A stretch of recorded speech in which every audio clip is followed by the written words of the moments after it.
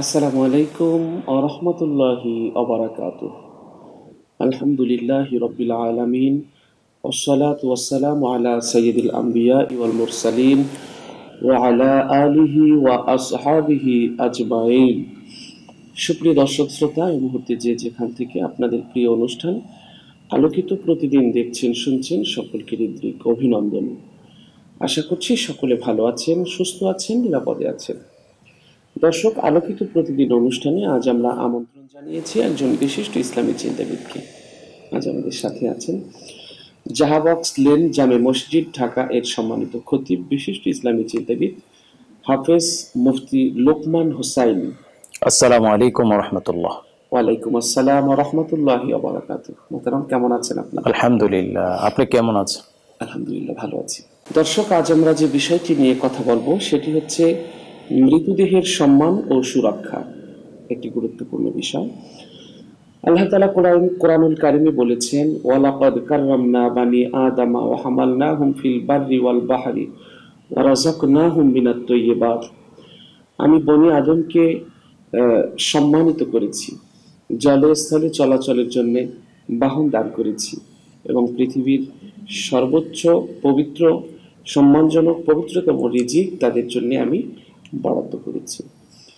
তো আদম সন্তান জীবিত হোক কিংবা মৃত হোক এদের সম্মান রয়েছে এবং এরা সম্মানের পাত্র। এখানে আমরা দেখতে পাই যে মানুষের মর্যাদা মৃত্যু হলেও তাকে তার মর্যাদা রক্ষা করতে হবে। ব্যক্তির সম্মান এবং মর্যাদা শুধু জীবিত অবস্থায় সীমাবদ্ধ নয়, মৃত্যুর পরও এই সম্মান অব্যাহত থাকবে। ইসলামী আইনের একটি নীতি হলো মানব সন্তান জীবিত বা মৃত। জীবা- জীবিত হোক বা মৃত হোক, সম্মানের পাত্র বলে গণ্য হবে। রাসুল সাল্লাহ আলাইসাল্লাম এই মৃত ব্যক্তিদের ব্যাপারে বলেছেন যে কোনো মৃত ব্যক্তি, কোনো মৃত ব্যক্তি হাড় ভেঙে ফেলা, মৃত ব্যক্তির হাড় ভেঙে ফেলা, জীবিত অবস্থায় হাড় ভেঙে ফেলার মতো পাপ আবু দাগ শরীফের হাদিস। আরেকটি হাদিসে আমরা দেখতে পাই, নাসাই শরীফের হাদিসে আনাস বিন মালিক রাদি আল্লাহ তালা আনহু এই হাদিসটি বর্ণনা করেছে। তিনি বলেছেন যে, রসুল সাল্লাহ আলাইসাল্লাম তার খুদ্বায় বেশি বেশি ছদ্গা করতে উৎসাহ দিয়েছেন এবং অঙ্গহানি থেকে নিষেধ করেছেন। আলী রাদি আল্লাহ তালা আনহু এর ঘাতক ইবনে মুলজিম তার প্রসঙ্গে নিজ সন্তান হাসানকে বলেছেন, আমি বেঁচে থাকলে তার ব্যাপারে আমি রায় দেব। তার আঘাতে আমার মৃত্যু হলে তাকে হত্যা করবে। তবে তার অঙ্গহানি করবে না। কারণ আমি শুনেছি রসুল সাল্লাহ আলাইসাল্লাম অঙ্গহানি থেকে বারণ করেছেন। এমনকি পাগলা কুকুরের ক্ষেত্রেও অন্য বর্ণনায় এসেছে, তিনি ঘাতক ইবনে মুলজিমের ব্যাপারে বলেছেন যে, তোমরা তাকে আহার করাও, পান করাও, তার সঙ্গে সুন্দর আচরণ করো। বেঁচে থাকলে আমি আমার রক্তের অভিভাবক। চাইলে ক্ষমা করব কিংবা চাইলে বন্দি করব। আমি মারা গেলে তোমরা তাকে হত্যা করবে। তার অঙ্গহানি করবে না। মাজমাউদ জাওয়ায়েদ এই বর্ণনাটি এসছে মাজমাউদ জাওয়ায়েদে। তো দর্শক, আমরা মৃত্যু দেহের সাথে কি রকম আমাদের আচরণ হবে, তার নানা দিক নিয়ে কোরআন হাদিসের দৃষ্টিতে আমরা চলুন আলোচনা শুনছি আমাদের আজকের অতিথির কাছ থেকে। ধন্যবাদ আপনাকে ধন্যবাদ সম্মানিত দর্শক শ্রোতা। আপনি একটি চমৎকার বিষয়ের অবতারণা করেছেন যে মৃতদেহের সম্মান এবং তার সুরক্ষা। এই পৃথিবীতে যা কিছু আছে সব কিছু আল্লাহ রবুল আলমিন সৃষ্টি করেছেন। তিনি হলেন খালেক, তিনি স্রষ্টা। আল্লাহ নিজে বলেন ওলাকদ খালাকনা সামা ওয়া তিবাল আর তোমা বেইনাহুমা। নিশ্চয়ই আমি এই পৃথিবীতে যা কিছু আছে সব কিছু আমি সৃষ্টি করেছি। তো আল্লাহ তালা কত প্রাণী, কত মাখলুক আল্লাহর সৃষ্টিতে রয়েছে, তার নির্দিষ্ট সংখ্যা কিন্তু আমাদের জানা নেই। অসংখ্য প্রাণী আল্লাহ সৃষ্টি করেছেন, আমরা জানি না। অনেক প্রাণী আছে, যাদের নামও জানি না, চিনিও না। আল্লাহ বলছেন, এমন অনেক প্রাণী আছে যে আমি সৃষ্টি করেছি, তোমরা দেখোনি। ওয়ালাল অমাল্লাস্তুম লাহু বিরাজিকিন। তাদের রিজিকের ব্যবস্থাও তোমাদের করতে হয় না। তোমরা দেখোই নি। তো আমরা বলতে পারি যে অসংখ্য প্রাণী আল্লাহ তালা সৃষ্টি করেছেন তো আল্লাহ তালা সবচেয়ে বেশি ভালোবেসে, সবচেয়ে বেশি আদর করে, মায়া করে, মহব্বত করে আদম সন্তানকে সৃষ্টি করেছেন হজরতে নূহ আলী সালাম যখন দাওয়াত দিলেন, দাওয়াতের পরে মানুষ তাকে অত্যাচার করলেন।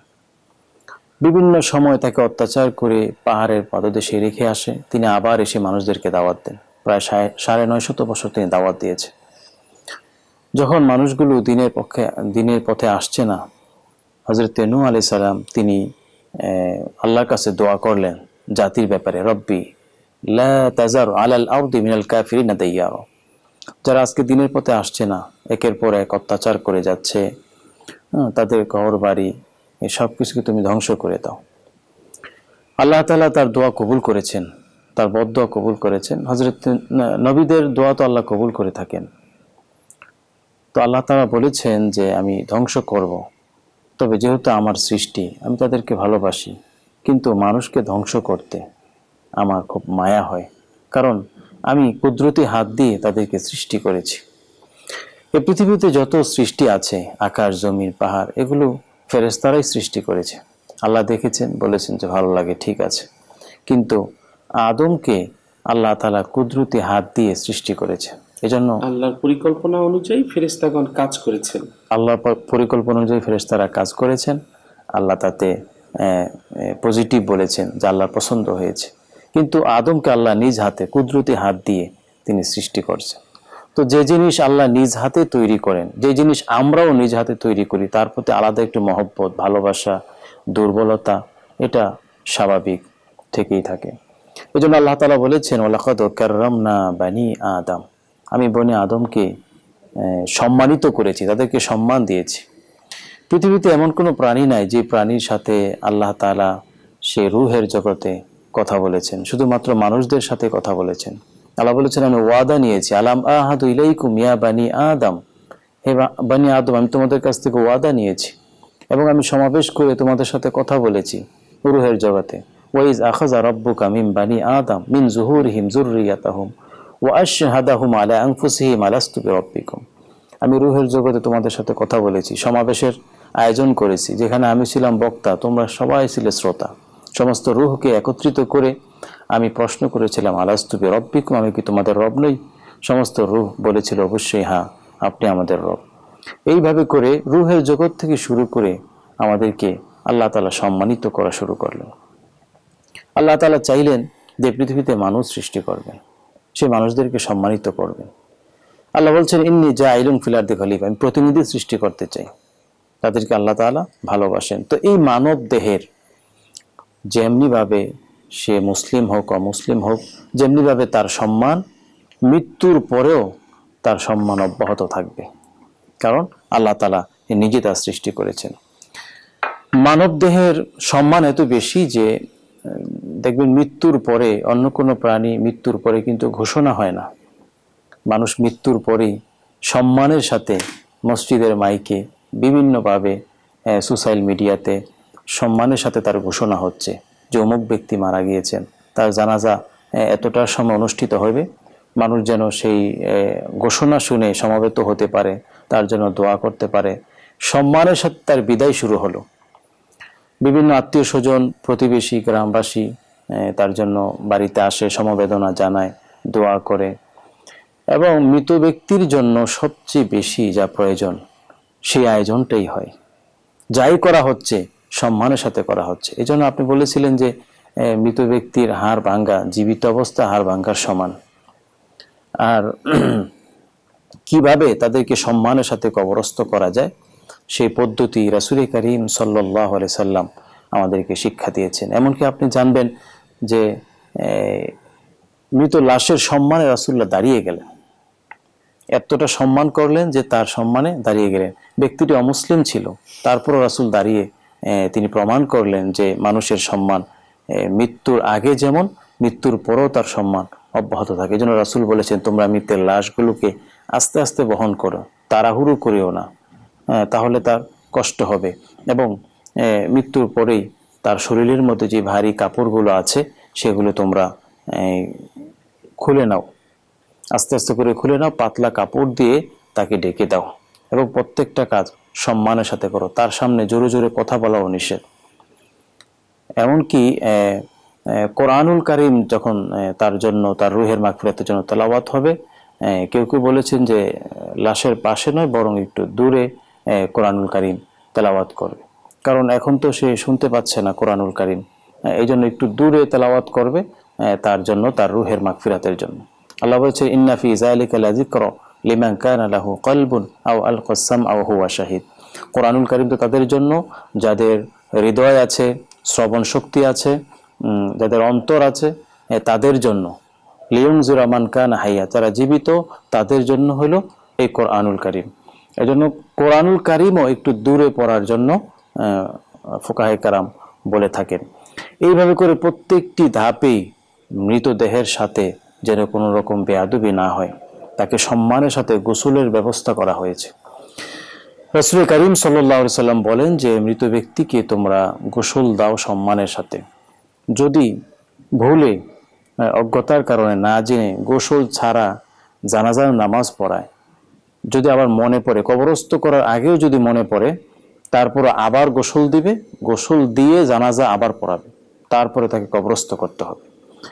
ইভেন এমনকি যে মৃতদেহের যদি কোনো একটি অঙ্গ গোসল দেওয়ার সময় যদি কোনো একটি অঙ্গ শুকনো থাকে বা সেই অঙ্গতে পানি ডালতে বা সেটা ধুতে একটু ভুলে গেছে, মনে পড়ল কবরস্থ করার আগে, মনে পড়লে আবার সেই অঙ্গটা ধুয়ে তাকে আবার জানাজা পরিয়ে তাকে সম্মানের সাথে কবরে রাখতে হবে।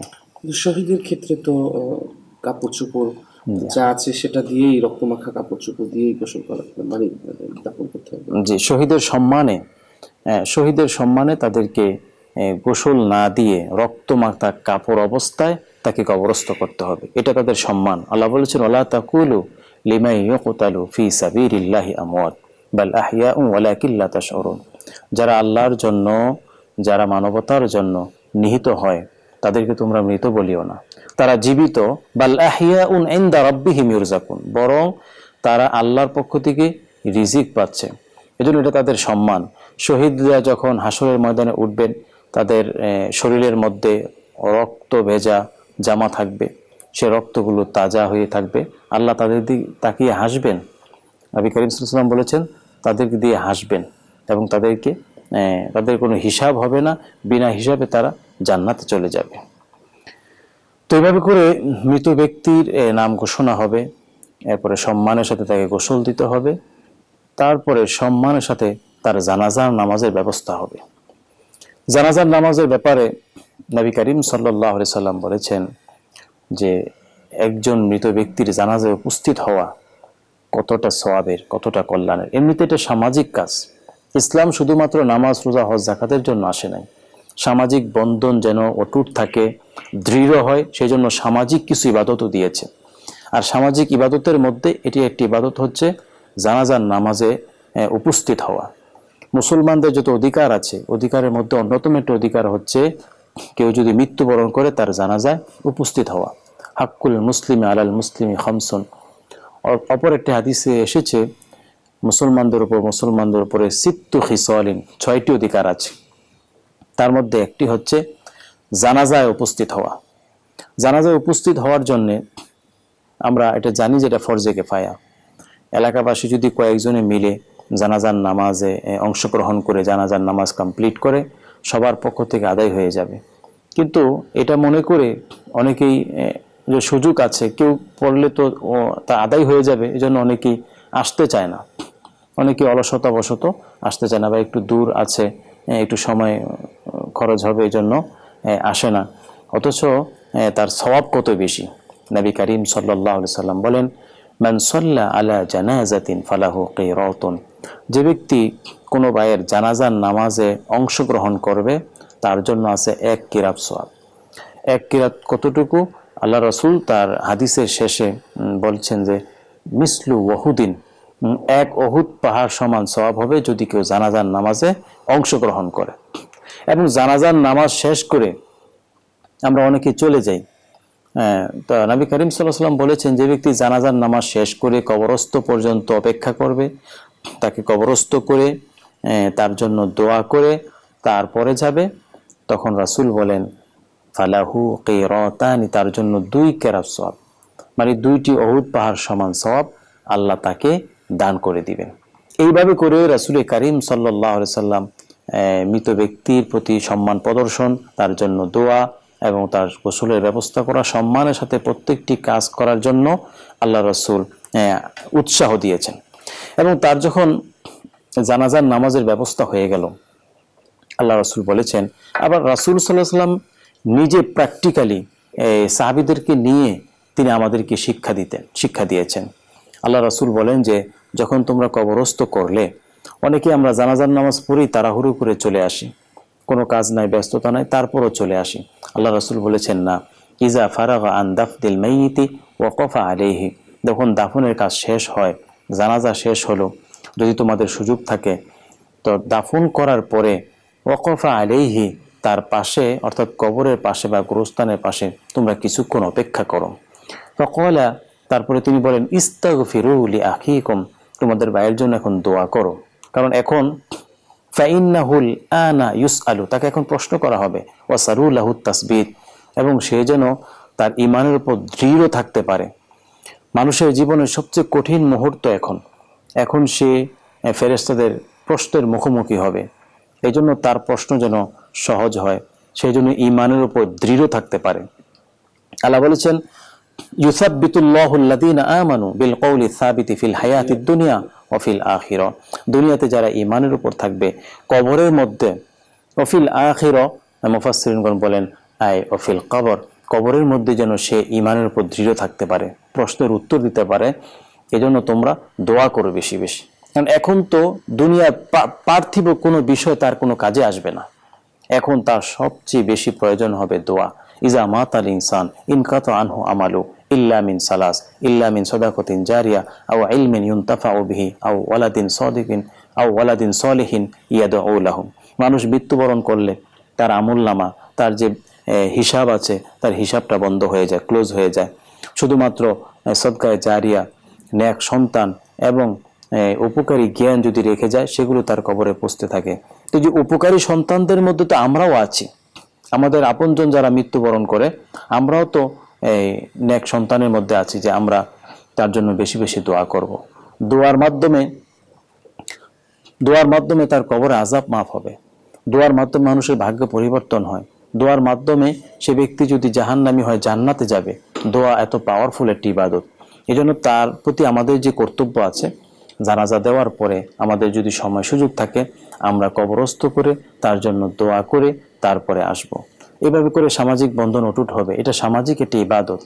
শুধুমাত্র কয়েকটি ইবাদতের মধ্যে ইসলাম সীমাবদ্ধ নয়, ইসলাম একটি পরিপূর্ণ জীবন ব্যবস্থা। সব জায়গায় রাসুল করিম সাল্লাহ সাল্লাম সাহাবিদের মাধ্যমে প্র্যাকটিক্যালি আমাদেরকে শিক্ষা দিয়েছেন। যে কীভাবে তাকে কবরস্থ করে তার জন্য দোয়া করতে হবে। কবরস্থ করার করার পরে তার কবরটা যেন সুরক্ষিত থাকে। মৃত ব্যক্তি চলে গেছে, তার দেহ কিন্তু কিছুক্ষণের মধ্যেই বা কয়েকদিনের মধ্যে পচে গলে শেষ হয়ে যাবে।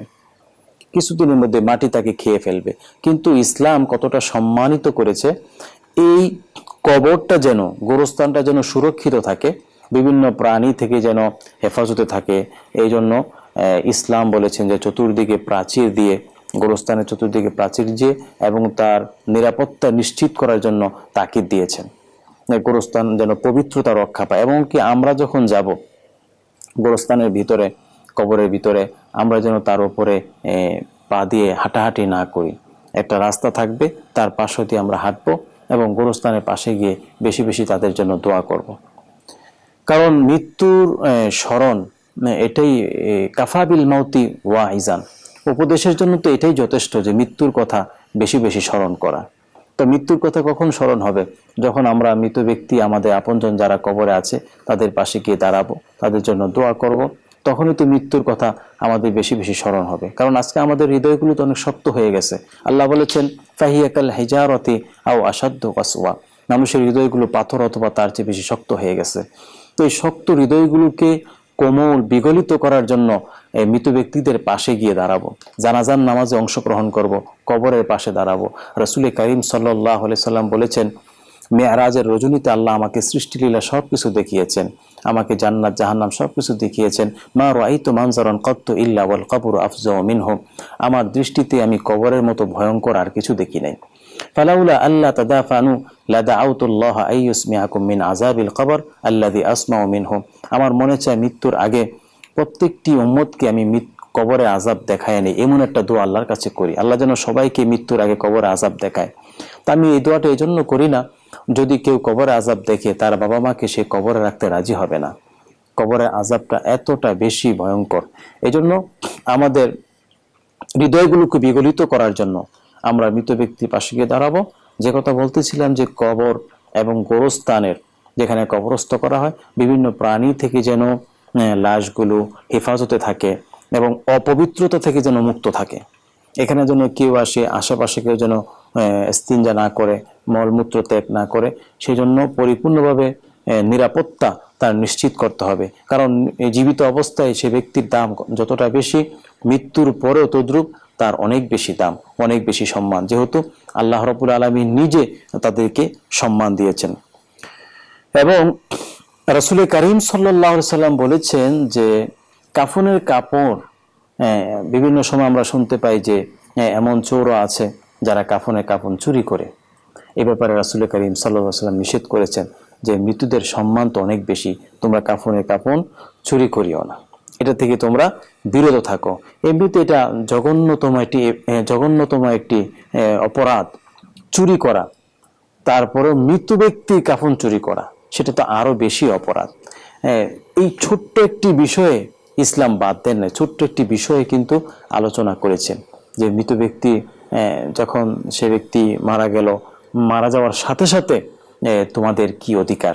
সে থেকে শুরু করে একেবারে তাকে কবরস্থ করে রেখে আসা, সুরক্ষিত করে রাখা প্রত্যেকটি বিষয়ে ইসলাম কথা বলেছেন। আল্লাহ রাসুল সাল্লাম বলেন তোমাদের মৃত ব্যক্তিরা যখন মারা যায়, তখন তোমাদের কিছু অধিকার আছে। জীবিত থাকায় যেমন অধিকার আছে, মৃত্যুর পরও তার উপরে তোমার অধিকার আছে। মৃত ব্যক্তি যখন মারা যায় তখন আপনি লক্ষ্য করে দেখবেন যে তার চোখগুলো খোলা থাকে। আল্লাহ রাসুল এই ছোট্ট বিষয়ে কথা বলেছেন যে চোখগুলো তা তোমরা বন্ধ করে দাও। কারণ সে নিজের চোখে দেখতে পায় তার রু চলে যাচ্ছে। হাত্তা ইজা বালাগতি তারকিয়া ওয়াকিল আমান রক অজন্না আন্নাহুল ফিরক। যখন মালাকুল মৌত আসে তখন মালাকুল মৌত যখন কণ্ঠনালীতে চলে আসে রুহটা যখন কণ্ঠনালীতে চলে আসে বের করার চেষ্টা করে ওয়াকিলা মান রক তখন সে বলতে থাকে "হুম, এমন কেউ আছো নাকি যে আমার জন্য কোরআন তেলাওয়াত করে আমাকে ফু দেবে, আমাকে জার ফুক করে ফু দিবে? এমন কেউ আছো নাকি? বজন্না আন্নাহুল ফিরক। সে তখন ভাবতে থাকে যে হ্যাঁ এখন আমার চলে যাওয়ার সময় হয়ে গেছে। হাত্তা ইদা যা আহাদাহুমুল মাউতু কলা রব্বির জিয়ন মৃত্যু যখন চলে আসে, তখন বলে, আমাকে আরেকটু সুযোগ দাও।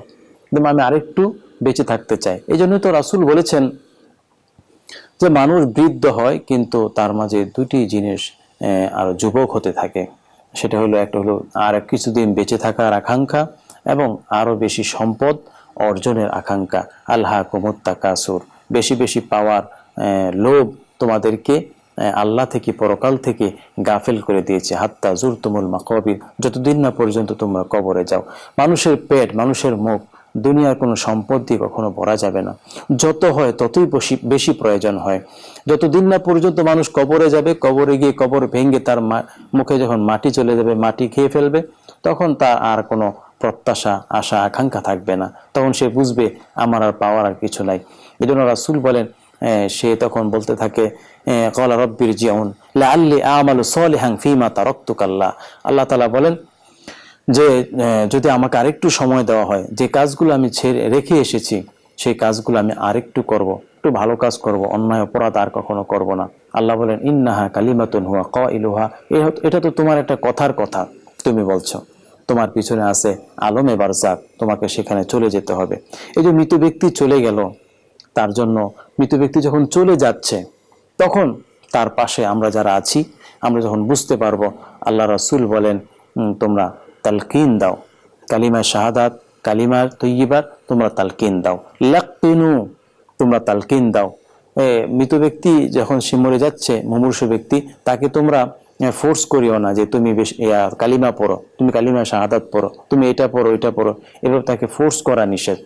বরং আল্লাহ রসুল বলেন লাক্কিনো তোমরা তালকিন দাও।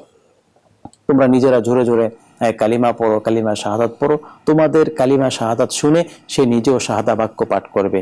আর রসুল করিম সাল্লাহ সাল্লাম বলেন, মান কানা আখিরু কালামিহি লা ইলাহা ইল্লাল্লাহ দাখল আল জান্নাহ। যে ব্যক্তির শেষ কথা হবে লা ইলাহা ইল্লাল্লাহ, সে ব্যক্তি জান্নাতে চলে যাবে। প্রত্যেকটি স্টেপে সে যখন মারা যাচ্ছে ইভেন সে যখন অসুস্থ হচ্ছে আল্লাহ রসুল বলেন মুমূর্ষ ব্যক্তি যখন অসুস্থ হয়, তখন তাকে তোমরা দেখতে যাও তার ফজিলত কত বেশি? হ্যাঁ সেটা হচ্ছে সে যেন মুমূর্ষু ব্যক্তিকে দেখতে যায় নাই, সে যেন জান্নাতে প্রবেশ করল। যত যতক্ষণ পর্যন্ত সে মুমূর্ষু ব্যক্তির পাশে থাকবে, অসুস্থ ব্যক্তিকে দেখবে, মনে হয় সে যেন জান্নাতে আছে। সে একটা একটি করে বাছাই করতেছে জান্নাতের কোন ফলটা খাবে। যে ব্যক্তি সকালবেলা মুমূর্ষু অসুস্থ ব্যক্তিকে দেখতে যাবে, সন্ধ্যা পর্যন্ত সত্তর হাজার ফেরেস্তা তার জন্য দোয়া করতে থাকে। সন্ধ্যাবেলা যদি কোনো অসুস্থ মুমূর্ষু ব্যক্তিকে দেখতে যায়, সারা রাত সকাল পর্যন্ত তার জন্য দোয়া করতে থাকে। এই সামাজিক প্রত্যেকটি কাজের কত যে ফজিলত কত যে গুরুত্ব যদি আমরা জানতে শেষ বেলায় যখন একটা মানুষ চলে যাবে সবকিছু ছেড়ে তখন আমরা বিলাপ করতে থাকি এবং এমন একটা পরিস্থিতির অবতারণা করতে থাকি যে আসলে তখন তার যাওয়াটা এক তো হলো তার শেষ সময়টা হলো কষ্টের সময়। এবং ওই সময়টা আর একটা কষ্ট হলো আপনজনের বিলাপ এবং হাহাকার চিৎকার কান্নাকাটি। তো এক্ষেত্রেও আমাদের আসলে ওই সময়টায় আমাদের কান্নাকাটি বা ওরকমের একটি পরিস্থিতির অবতারণা না করে আমাদের ধৈর্য ধারণ করতে হবে। যে মোতারাম চমৎকার বলছিলেন। দর্শক আমরা আহ, সম্মান মৃত ব্যক্তির সম্মান এর সুরক্ষার ব্যাপারে কথা বলছিলাম। ইসলামী শরীয়তে দাফনের আগ পর্যন্ত মৃতের দৈহিক মর্যাদা সুনিশ্চিত করা জীবিতদের দায়িত্ব। দাফনের পর তেমনি কবরস্থানের দেখাশোনা করাও সবার কর্তব্য। জীবিত অবস্থার মতো মারা যাওয়ার পরও মৃতদেহের সম্মান, সুরক্ষা নিশ্চিত করা জীবিতদের দায়িত্ব। মৃত ব্যক্তিকে সযত্নে কাফন দেওয়া জানা যায় এবং দাফনের ব্যবস্থা করা মুসলিম সমাজের অত্যাবশ্যকীয় একটি বিধান। মৃতদের কবর দেওয়ার স্থানও সংরক্ষণ করা জরুরি। আর হলো আমাদের আরেকটি কাজ করতে হবে যে এমন কাজ থেকে বিরত থাকতে হবে যে আল্লাহ তাআলা বলেন, তিনি তাকে মানুষকে মৃত্যু করেন এবং কবর, কবরস্থ করেন। আমাদের মৃতের কবর দেওয়া এবং স্থান সংরক্ষণ করতে হবে এবং কবরস্থানের সম্মান অসম্মান হয় এমন কিছু আমরা করব না। কারণ একসময় আমিও ওই কবরস্থানে যাব। তো আমাকে মনে রাখতে হবে যে মানে কবরস্থানের সাথে অসম্মান হয় এমন কোনো কাজ যেন আমরা না করি। মৃত ব্যক্তির জন্য যারা কবর খনন করে এবং যারা গোসল দেয়, তাদের জন্য অনেক ফজিলাত রয়েছে। গোসল মৃত ব্যক্তির অন্যতম অধিকার। পৃথিবীতে সর্বপ্রথম আদম আলাহিসাল্লামকে মৃত্যুর পর ফেরেশতারা গোসল দিয়েছিলেন। নবী সাল্লাহ আলাইহাল্লাম বলেছেন, আদম আলাইহাল্লামকে ফেরেশতারা পানি ও বড়ই পাতা দিয়ে গোসল দিয়েছেন। তারা তাকে কাফন দিয়েছেন। লাহোর কবরে তাকে দাফন করেছে। এবং তারা বলেছে, হে আদমের সন্তানরা মৃতদের ব্যাপারে এটা তোমাদের সুন্নত তথা করণীয়। তাবরানি শরীফের হাদিস। আর কবর খনন করার ব্যাপারে রসুল সাল্লাহ সাল্লাম বলেছেন যে মৃত্যু মৃতের গোসল দেয় এবং তার দোষ ত্রুটি গোপন রাখে, আল্লাহ তাকে চল্লিশ বার ক্ষমা করেন। আর যে ব্যক্তি মৃত্যুকে কাফন পরায়, আল্লাহ তাআলা তাকে জান্নাতের রেশমের কাপড় পরিধান করাবেন। যে ব্যক্তি মৃত ব্যক্তির জন্য কবর খনন করে, তাতে কবর দেয়। আল্লাহ তাআলা তাকে কিয়ামত পর্যন্ত মৃত্যুর জন্য ঘরের, এই মৃতের জন্য ঘরের বসবাসের ব্যবস্থা করে দেওয়ার প্রতিদান দেন। কেমন পর্যন্ত তাকে প্রতিদান দিতে থাকেন। সুবহান আল্লাহ এটি হলো মোস্তাদরাকে হাকিমের পাঁচশো পাঁচ নং বর্ণনা। তো আমরা এই আজকের মৃত ব্যক্তির সম্মান, মর্যাদার কথা আজকের আমরা শুনলাম। আরেকটি বর্ণনায় রাসূল সাল্লাহ সাল্লাম বলেছেন যে, কবরের উপর বসার চেয়ে কাপড় ও চামড়া পুড়িয়ে ফেলা জ্বলন্ত আঙ্গারের উপর বসা তোমার জন্য অনেক ভালো, আবু দাউদ শরীফের হাদিস। তো এখানে আমরা কবর কবরস্থান এবং কবরকে একটু সুরক্ষিত রাখব এবং মর্যাদা যাতে রক্ষা পায়, সেজন্য আমরা চেষ্টা করব একটু পয় পরিষ্কার করে রাখার। তো কবর বাঁধানো বা সেখানে কোনো আহ, লৌকিকতাপূর্ণ কিছু করা এটা আসলে ইসলাম নিষেধ করেছে। কিন্তু কবর সুরক্ষার জন্য যা করা দরকার সেটা আমরা করতে পারি। কবরের উপর বসা এবং মলমূত্র ত্যাগ করা এবং এটি হলো ঘৃণিত কাজ। কবরের উপর দিয়ে হাঁটা চলাও করা যাবে না এবং হেলান দেওয়া নিষিদ্ধ। জাবের রাদিয়াল্লাহু তাআলা আনহু থেকে বর্ণিত তিনি বলেন রাসূল সাল্লাম কবরের উপর আবরণ দিতে, অর্থাৎ প্লাস্টার করাতে, প্লাস্টার করতে, কবরে লিখতে, তার উপর দালান নির্মাণ এবং ইটা চলা করতে নিষেধ করেছেন মুসলিম শরীফের আট হাজার নয়শো এগারো নম্বর হাদিস। তো মোতারাম এখানে আমরা একটি বিষয় আমরা দর্শকদেরকে জানাতে চাই। দর্শক শ্রোতা, আমরা এই কবর সংরক্ষণের ব্যাপারে কি পদ্ধতি আমরা নিতে পারি, সে ব্যাপারে আমরা অতিথির কাছ থেকে শুনছি। তো আহ, মোহতারাম আমরা যে ব্যাপারটি যে কবর আহ, কবরের উপরে দালান নির্মাণ করা তারপরে হাঁটা চলা তারপরে হলো এই যে ই করা সেটাকে একটা ভবনের মতো করা। এই ব্যাপারে আসলে ইসলাম সুনির্দিষ্ট ভাবে কি বলেছে?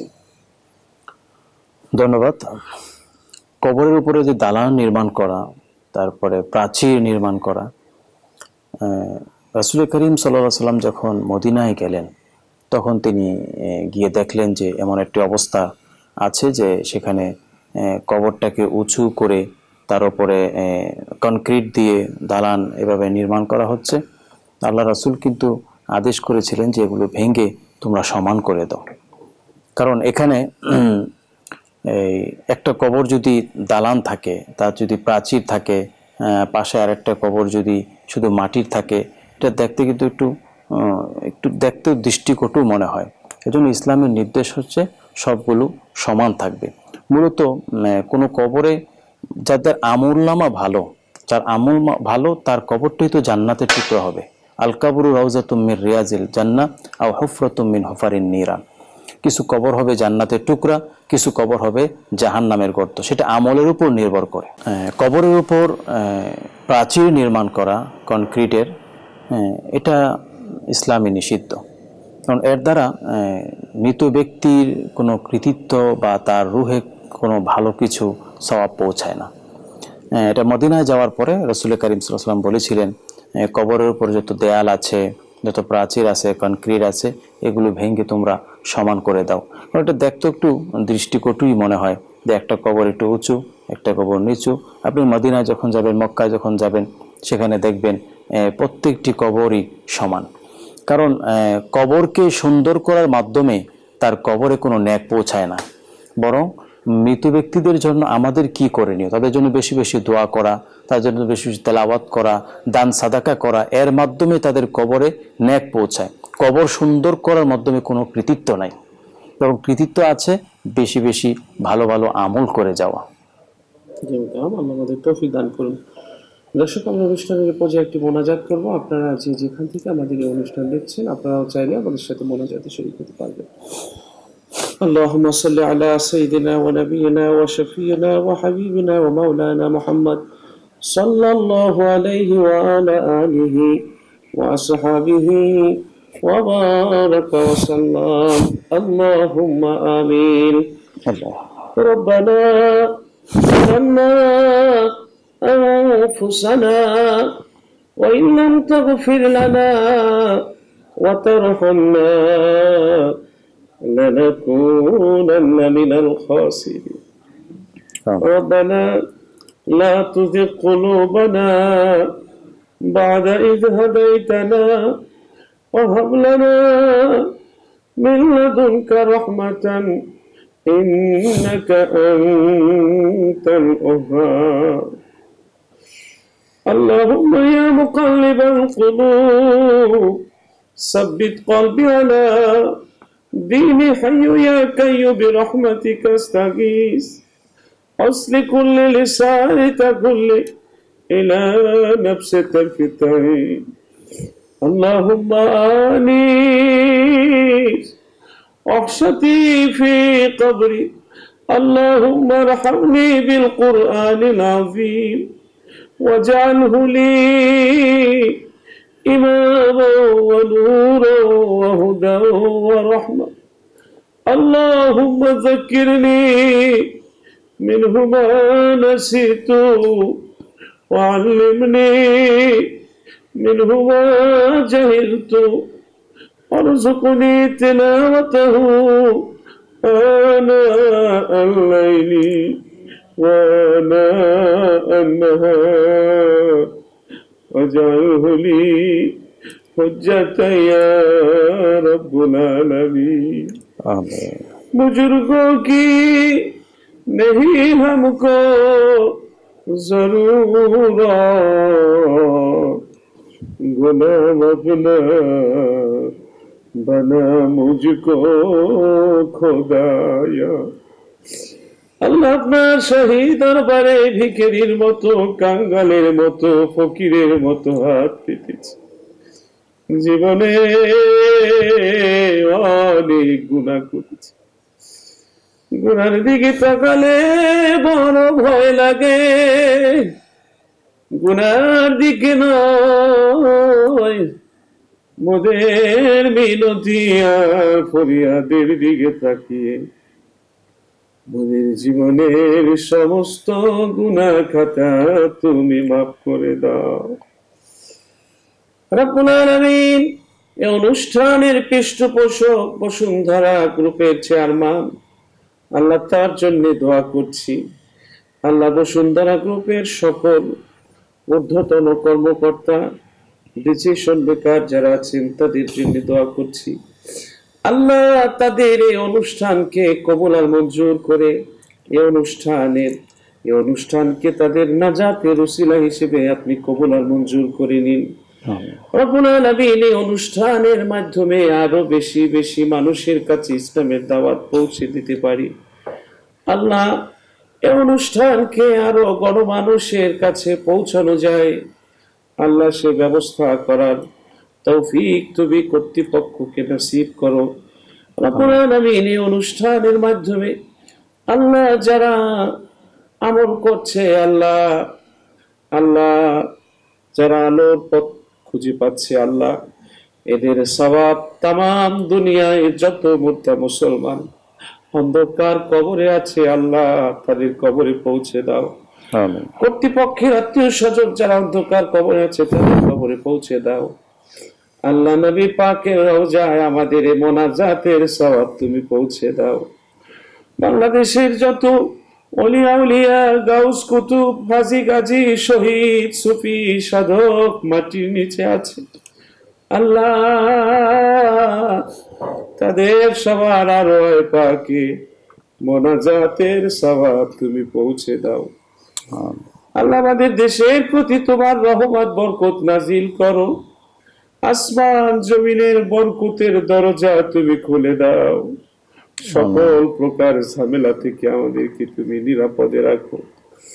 আল্লাহ ব্যবসা বাণিজ্য করে যারা ব্যবসা বাণিজ্যে বরকত দান করো হালাল জীবিকা উপার্জনের তৌফিক দান করো। আল্লাহ তোমার কাছে ফরিয়াদ তুমি আমাদের মৃত্যুর সময় কালিমা নসিব করে দিও। আল্লাহ অন্ধকার কবরে যখন সবাই মিলে রেখে আসবে ওই কবরটা তুমি আমাদের জন্য জান্নাতের বাগান বানিয়ে দিও। দিনের বেলা যে কবরের কাছ দিয়ে হাঁটতে ভয় লাগে,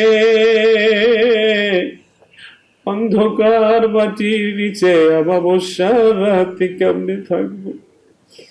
আল্লাহ কবরটা আমাদের সবার জন্য তুমি জান্নাতের বাগান বানিয়ে দিও। অনেকের মা নেই, বাবা নেই মায়ের দোয়া পাই না, বাবার ডাক শুনতে পাই না। আল্লাহ যাদের মা নেই, বাবা নেই তোমার কাছে ফরিয়াদ। তাদের মা বাবার জীবনের সমস্ত গুণা কথা তুমি মাফ করে দাও গো আল্লাহ। তাদের কবরকে তুমি জান্নাতের বাগান বানায় দাও। কারোর মা বাবাকে কবরে মেরো না, কারোর মা বাবাকে কবরে তুমি আজাব দিও না। رب ارحمهما كما ربياني صغيرا. رب ارحمهما كما ربياني صغيرا. سبحان ربك رب العزة عما يصفون وسلام على المرسلين. والحمد لله رب العالمين. وجعل آخر كلامنا عند الموت لا إله إلا الله محمد رسول الله صلى الله عليه وسلم দর্শক আমরা আজ এখানেই শেষ করছি আবার দেখা হবে আগামীকাল ঠিক এই সময় আপনারা দেখুন আলোকিত প্রতিদিন অনুষ্ঠান এবং অন্যকেও দেখার সুযোগ করে দিন আল্লাহ আপনাদের সকলকে ভালো রাখুন নিরাপদে রাখুন আল্লাহ হাফিজ আসসালামু আলাইকুম আ রহমতুল্লাহি আবরাকাতুহ